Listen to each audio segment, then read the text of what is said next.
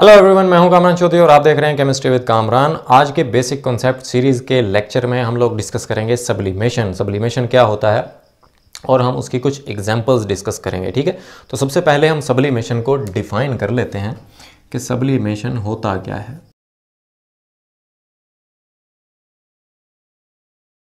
तो सब्लिमेशन को आप कुछ इस तरह से डिफाइन करते हैं कि the process in which a solid turn into a gas directly without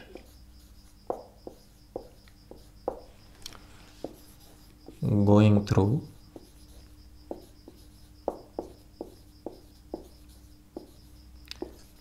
a liquid state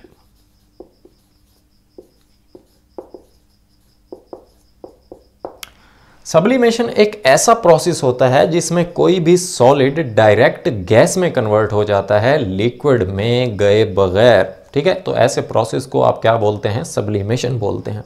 अब इसकी एग्जांपल्स पे आने से पहले मैं आपको ये बता देता हूँ कि सब्लिमेशन अक्कर कैसे होता है। सो so, हम ये देख लेते हैं कि हाउ सब्लिमेशन अकर जो सब्लिमेशन का प्रोसेस है, इसमें बेसिकली हो क्या रहा होता है? ठीक है? Sublimation occur when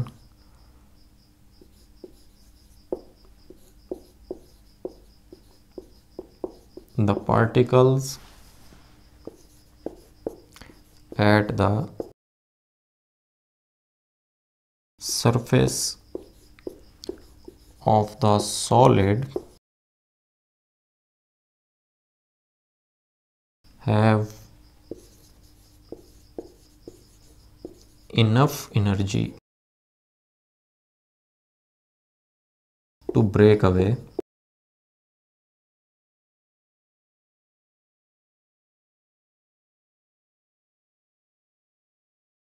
from the solid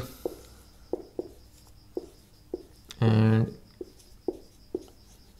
escape as a gas अच्छा अब हो क्या रहा होता है? जब किसी भी सॉलिड को आप हीट देते हैं हीट प्रोवाइड करते हैं, गर्म करते हैं, ठीक है?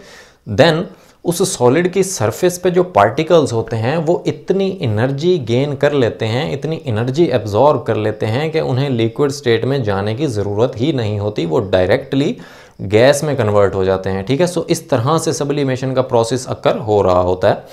अब, किन किन सब्सटेंसेस में सब्लिमेशन का प्रोसेस अक्कर होता है, उसकी मैं आपको कुछ एग्जाम्पल्स दे देता हूँ।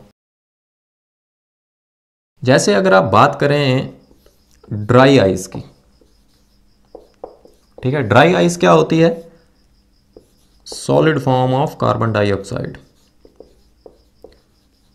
carbon dioxide की सॉलिड फॉर्म को आप क्या बोलते हैं? ड्राई आइस बोलते हैं।